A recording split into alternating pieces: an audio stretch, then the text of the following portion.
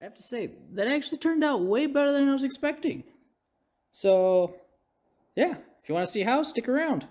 Alright, so ever since that I made this, which is a 3D printed mold for making the carbon uprights and mounts for the rear wing on my car, I've been really curious as to how far can it go? Like how far can I take 3D printing in the world of single or very limited use composite molds? So we've basically proved that it works in a vacuum bagging application with a basically an open an open mold that you lay into and vacuum bag it down. But then what's this? How far can it go? So this is a compression mold. And what is it a compression mold of? It's a compression mold for mirror covers. Um, I don't need to make these parts. It's literally just a thought that I had and something that I wanted to try. So it's actually two pieces, an outside and an inside. Or you could say this is a female part of the mold and this is a male part of the mold. It has little alignment pins.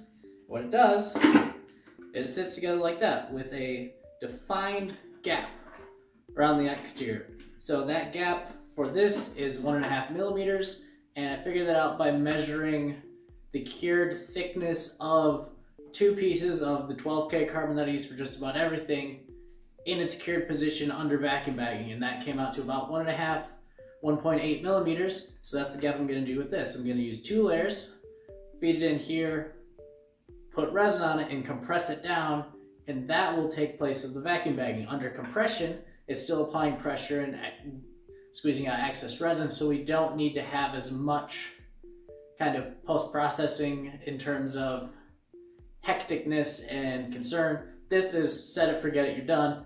Clamping pressures don't need to even be that high. You just need the fibers to consolidate under each other. So let's do it. Let's make a carbon mirror cover and see if this actually works or not. And yes, the 3D printer messed up a little bit because I tried to get extra resolution out of the print layers and it didn't work very well. But I have a solution for that. I'm just going to cover this, the openings with plastic sheeting. I've used that in the past. It works really, really well for not having really good layer interface. So let's do it.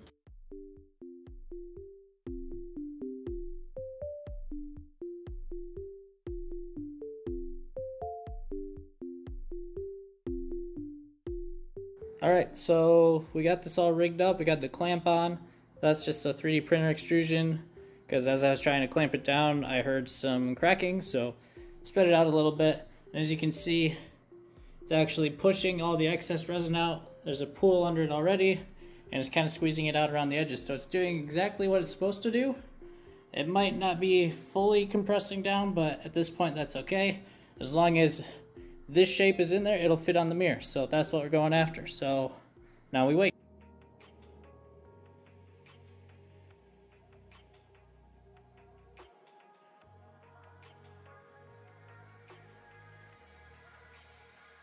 All right, so this is the cover right off of the mold. There's some there's some wrinkles as you can see just from the plastic, but that's all just in the resin. So I'm gonna trim this up and sand it down and probably just put another like glass coat, aesthetic coat of resin on top of it, but only after I cut off the excess and sand it down.